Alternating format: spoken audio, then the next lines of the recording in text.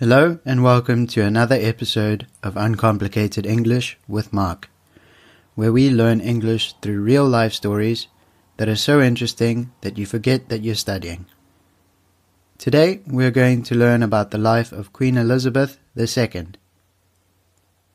Before we get started, as always, I would like to remind you that the entire transcript of this episode can be found for free on my website.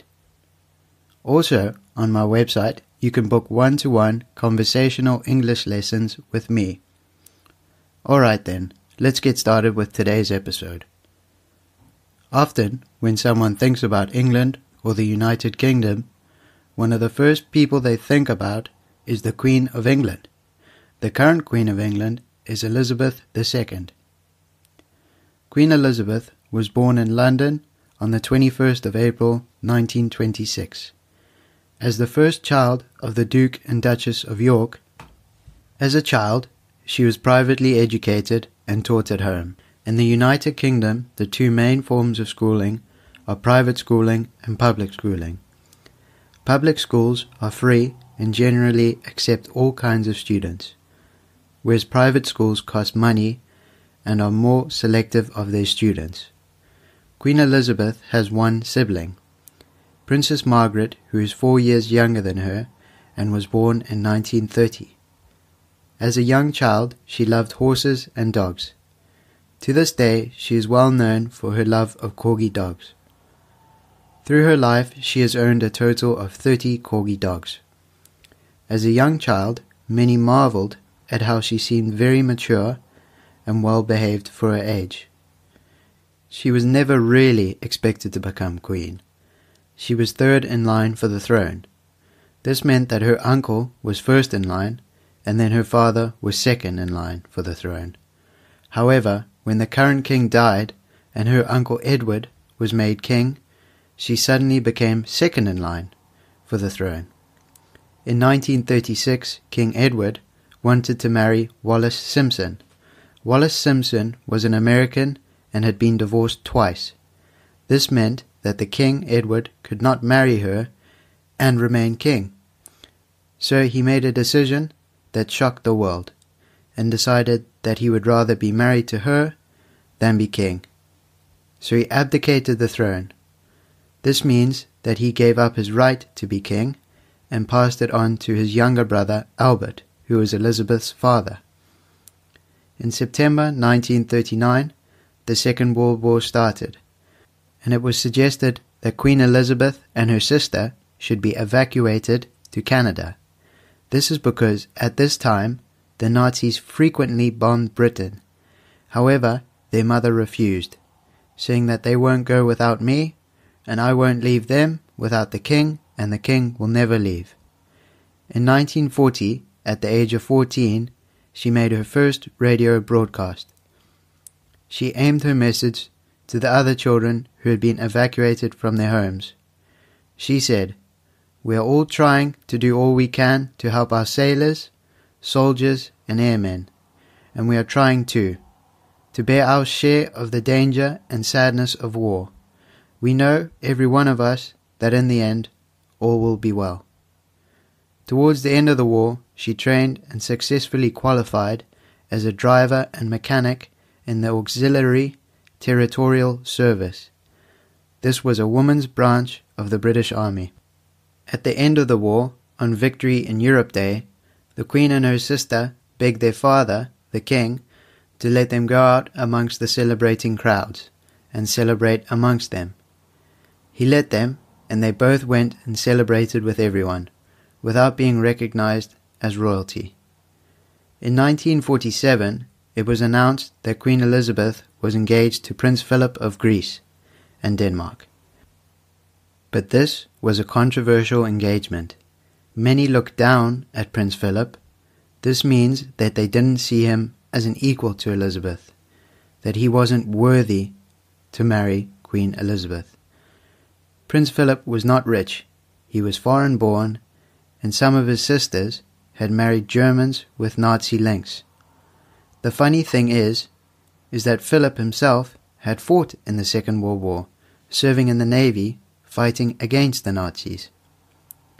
Initially, Elizabeth's mother was not happy with the engagement. However, the two remained together and got married on the 20th of November 1947. Britain was so weakened by the war that even Elizabeth had to use ration tokens to buy the material that was needed to make her dress.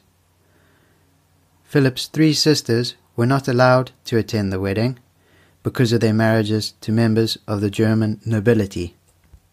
Elizabeth gave birth to their first child, Prince Charles, on the 14th of November 1948. Their next child, Princess Anne, was born in 1950. In 1951, Elizabeth's father, King George VI, health began to decline, and in 1952 he passed away, whilst Elizabeth and Philip were on tour in Kenya. She was now the Queen of the United Kingdom. Throughout her time as Queen, she has travelled widely and has seen many of the countries that fall under the Commonwealth.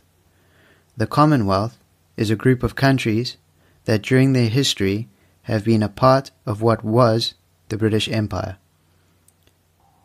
Many of these countries now have their own independence, but many have decided to stay a part of the Commonwealth.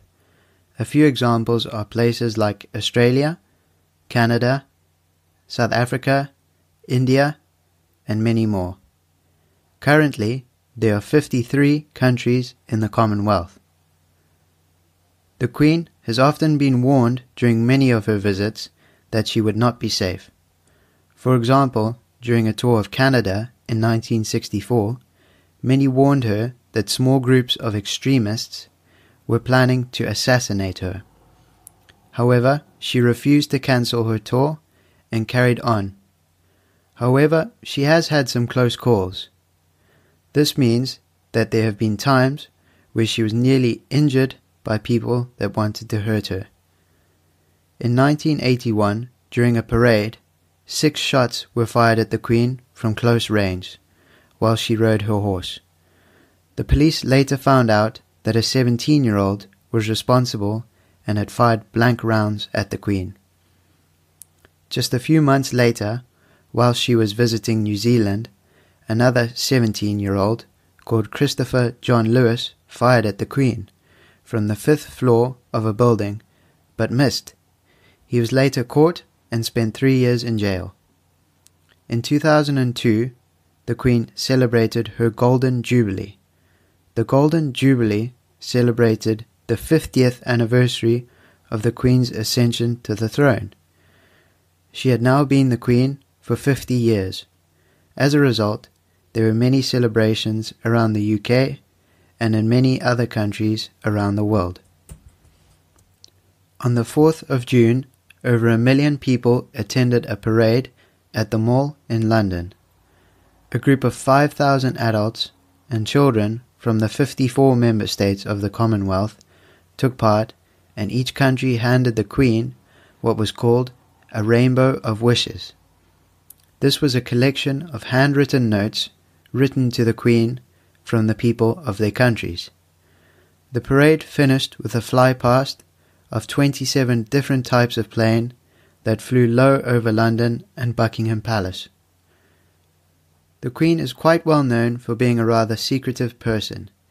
She very rarely gives speeches and has always tried to remain a little distant from politics. This is because her position as Queen is mostly symbolic this means she doesn't have any real power over the politics of the UK. She can't pick a Prime Minister and she can't remove a Prime Minister if she doesn't like them. Within the UK, she is relatively well liked, and many people still want Britain to continue having a monarchy. A monarchy is a government that has kings, queens, princes, and all that kind of stuff. That's all for today. Thank you very much for listening. I hope you enjoyed today's episode. As always, I'd like to remind you that the full transcript of this episode can be found for free on my website at www.uncomplicatedenglish.com. Also, on my website, I offer one to one conversational English lessons, Thank you very much for listening today. I look forward to seeing you next week for the next episode.